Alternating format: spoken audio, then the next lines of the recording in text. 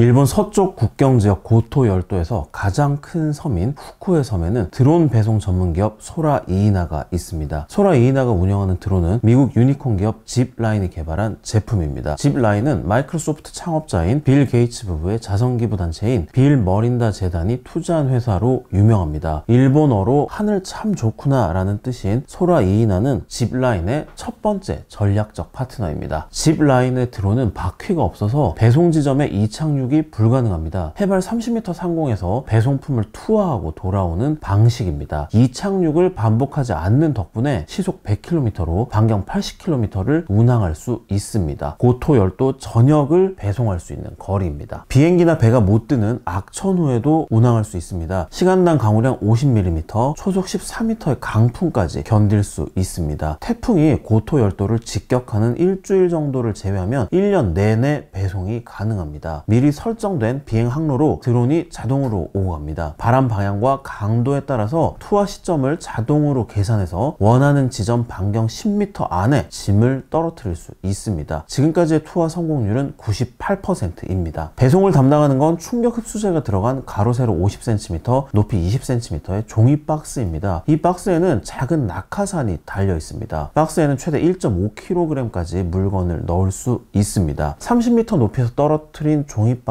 가 멀쩡할까 싶잖아요. 그런데 유리병과 달걀도 깨지지 않는다고 합니다. 의약품 배송이 가능한 이유입니다. 동시에 드론 4기를 띄워서 4kg까지 배송할 수 있습니다. 이 드론 배송은 지난해 검증 실험을 거쳐서 올해 정식 서비스를 시작했습니다. 고토열도 주변의 작은 섬들에 흩어져 있는 진료소에 약품을 공급하는 B2B 서비스가 올해부터 시작됐습니다. 상자 한 개를 배송하는 비용은 1000엔, 우리 돈으로 만 원 정도입니다. 실험을 넘어서 이제는 이익을 내는 비즈니스 모델 모델을 갖추는데 주력하고 있습니다. まあ、我々のあの雨風に強いあのドローンに関して言いますとやはり既存の物流手段である飛行機とか船に比べると運べる荷物こそ少ないですけれども、まあ、あの気象に影響されにくいあの飛行が可能です。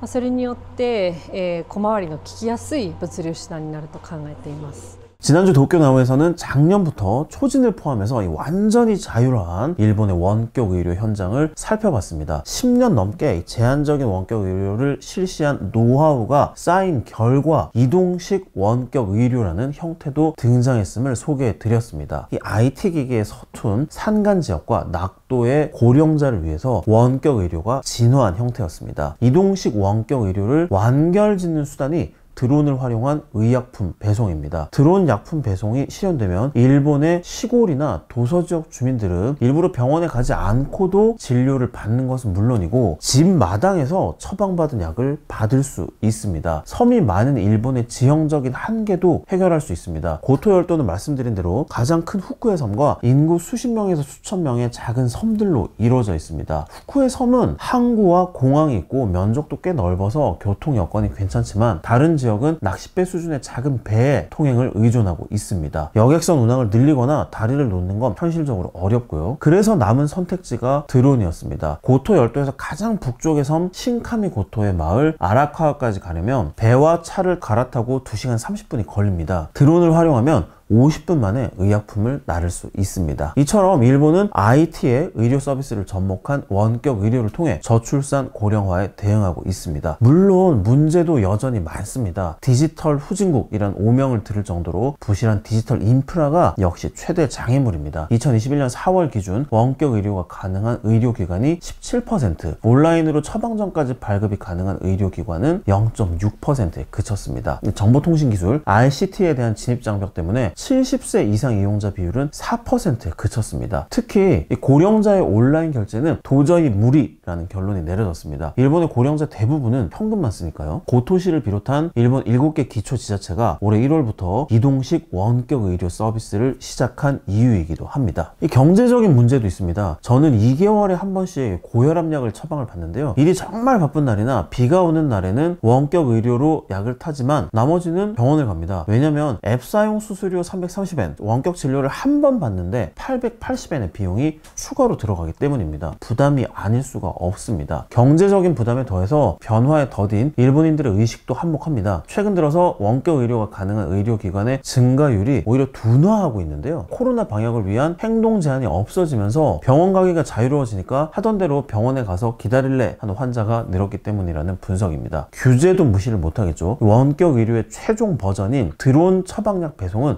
두 가지 장벽을 넘어야 합니다. 현재 일본 법률상 드론은 인간의 거주지 위를 비행하지 못하고 개인 소비자에게 처방약을 배송할 수 없습니다. 이 때문에 소라 이이나는 운송 경로를 해상과 항구로만 짜고 있고 약품을 병원과 약국에만 배송합니다. 내륙 지방에 거주하는 주민은 드론 배송 서비스를 이용하는 게 현재는 불가능합니다. 안전을 위해 당연히 필요한 법입니다만 원격 의료의 완성을 위해서는 뛰어넘어야 하는 규제이기도 합니다. 이러한 원격 의료의 벽을 일본에서는 대기업들이 나서서 허물고 있다는 게 주목할 만합니다. 올해 1월 23일부터 나가사키현 고토시와 나가노현 이나시 등 7개 지역에서 이동식 원격 의료 서비스를 운영하는 회사는 모네 테크놀로지 테크놀로지라는 모빌리티 전문 스타트업입니다. 이 회사는 도요타 자동차와 소프트뱅크 그룹이 2018년 공동으로 설립했습니다. 소라 이이나 역시 도요타 자동차 계열 종합 상사인 도요타 통상이 100% 출자한 회사입니다. 스카이링크라는 회사도 드론을 이용한 의약품 배송 서비스를 준비하고 있는데요. 스카이링크는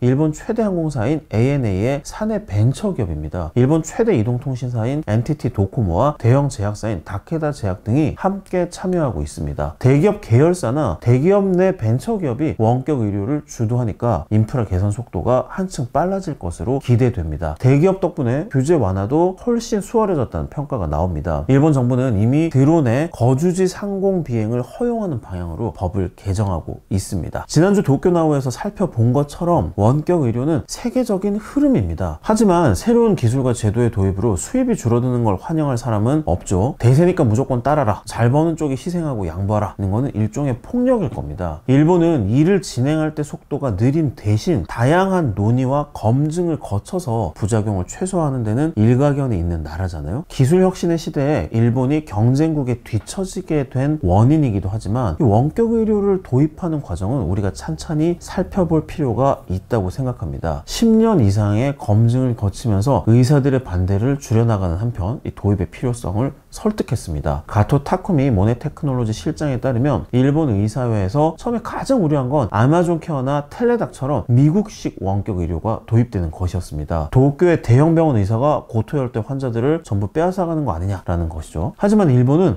이 날선 대립을 피하는 특유의 융합의 문화를 원격 의료 도입에서도 발휘했습니다. 일단 지역 의료기관이 지역 환자를 돌보는 네트워크를 정착을 시켜서 공급 측면, 즉 의료진의 양극화를 최소화했습니다. 사실 이건 광역 지자체마다 다른 진료 기록 공유 시스템의 영향이기도 합니다만 그래도 지역마다 특색이 강한 이런 문화를 절대로 무시를 못할 겁니다. 법적으로는 초진부터 가능하지만 원격 의료 서비스 회사들도 시작은 일단 먼저 의료진과의 신뢰관계를 구축하시라 라고 유도를 합니다. 3회당 1회는 대면 진료를 받으세요 라는 식으로 말입니다. 좀 느리더라도 부작용을 줄이는 일본의 이런 차근차근 접근법은 붕괴 위기에 처한 한국의 지역의료 서비스 문제에도 참고할 만합니다. 나가사키 의대 낙도의료연구소장인 마에다 선생님께 한국의 지역 공공의료원이 연봉을 3억, 4억 원씩 제시를 해도 의사를 못 구해서 난리다라는 얘기를 들려드렸더니요. 왜 지자체가 의사를 고용하려 애를 쓰느냐라고 의아해 하더라고요. 마에다 선생님이 소장으로 있는 나가사키 의대 낙도 의료연구소는 나가사키 현과 고토시가 비용을 부담해서 2004년 나가사키 의대에 낙도 의료 연구 강좌를 개설한 게 시작이었습니다. 현재는 나가사키 의대 의료진 4명이 고토 열도에 상주를 합니다. 나가사키 의대생은 재학 기간 중에 최소 2개월 이상 이곳에서 수업을 받아야 합니다. 근데 낙도를 경험한 의대생이 늘어나다 보니까 지금은 낙도 의료연구소를 지원하는 학생이 적지 않다고 합니다. 의료 연구의 측면에서 낙도는 상당히 중요한 의미가 있다고 합니다. 이 섬 사람들은 육지에 사는 사람들에 비해서 이동이 많지 않잖아요. 그렇기 때문에 역학 조사에 굉장히 유리하다고 합니다. 또 병이 돌았을 때 어떤 약을 쓰는 게 효과적인지도 즉각 확인이 가능하다고 합니다. 나가사키 의대와 고토시의 이런 모델이 효과를 발휘하면서 일본 정부는 가고시마 등 섬이 많은 다른 광역 지자체에도 같은 모델을 도입하기로 했습니다. 연구는 대학의 존재 이유인 만큼 지자체가 거액을 들여서 의사를 고용하지 말고 대학을 끌어들이라 라는 게 마에다 소장의 조언이었습니다. 지금까지 도쿄 나우의 정현우 특파원이었습니다. 감사합니다.